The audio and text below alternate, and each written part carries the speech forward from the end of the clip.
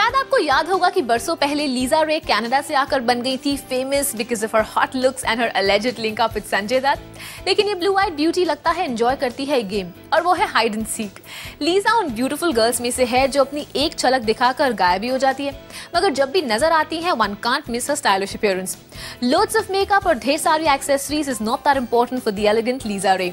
तो क्या है लीजा के स्टाइल का राज?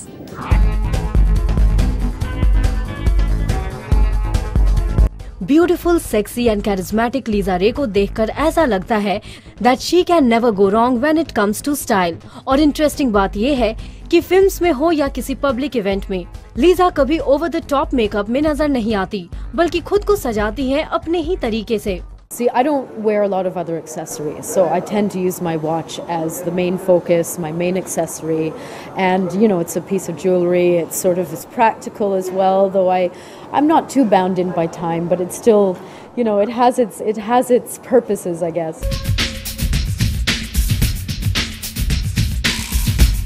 So the watch does it all. अब लीजा की लाइफ में घड़ी की इतनी इम्पोर्टेंस है तो वो टाइम मैनेजमेंट में भी एक्सपर्ट होंगी आखिर अपने बिज़ी शेड्यूल को अच्छी तरह से हैंडल करना is extremely important in showbiz I do tend to, um, I think that's where it's useful. It's useful to um, sometimes sit down and assess and figure out the time that you want to put into your work, into your professional life, the time that you need to put into your personal life, and the time that you need to give yourself. So these are, I would say, the three broad categories of time that are really essential, and everyone should sit back and figure that one out. I meditate. I do a lot of meditation. I try to go up to, um, for instance, Dharamshala. I try to spend some time there. Um, and when you're on the go, it's you don't have much of an option, but I try to do a little bit of meditation every day.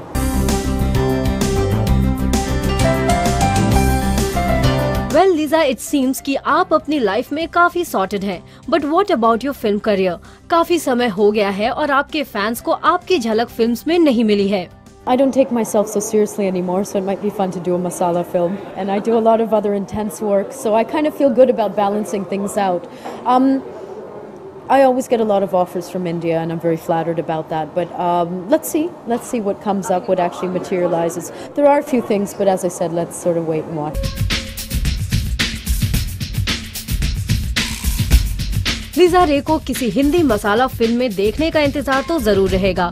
और साथ ही ये भी देखना interesting होगा कि Lisa एक मसाला film की heroine बनकर कौन सा ट्रेंड सेट करती है। सौम्या चंडेल के साथ अंजलि सिंह जूम दिल्ली